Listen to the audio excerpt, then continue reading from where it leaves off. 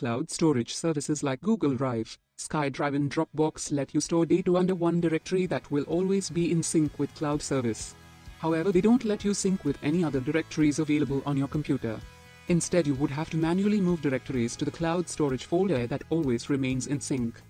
To make the whole process more simple and easy, now there's a free Mac application named MacDrop Any available to download, which lets you build a symbolic link between any directories and your cloud storage account with ease. Of course, you can actually use the command line to build symbolic links, but it's quite a job and needs terminal skills. Having this application installed on your Mac, syncing directories with cloud storage folder is super easy. Just launch the app, select the directory you would like to sync with the cloud storage.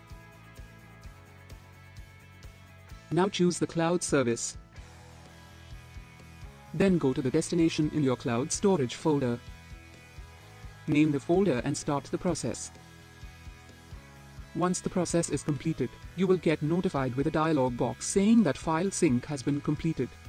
Here you can also make things easier by simply dragging the directory onto the Mac drop any icon or you can get it done by using this option from the context menu that appears when you right-click on the folder you'd like to sync. However, you'll need to run the application several times to sync more folders, but it's the most convenient solution available for anyone who doesn't have any expertise in terminal commands. Also keep in mind this application only works if you installed appropriate cloud service application on your Mac.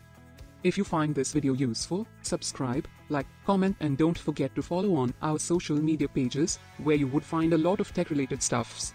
Thank you.